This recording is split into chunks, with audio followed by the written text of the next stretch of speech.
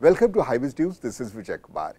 Jio and Google announced that they have made considerable progress towards launching the much-awaited Jio Phone Next, the made-for-India smartphone being jointly designed by the companies.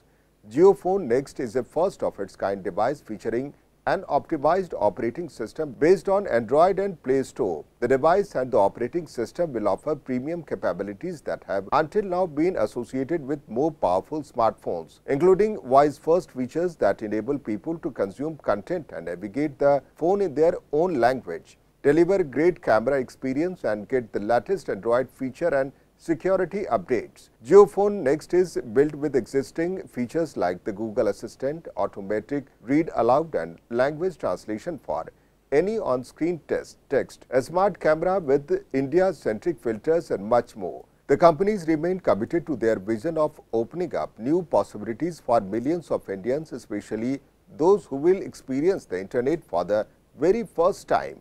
Thank you for watching HyBiz News.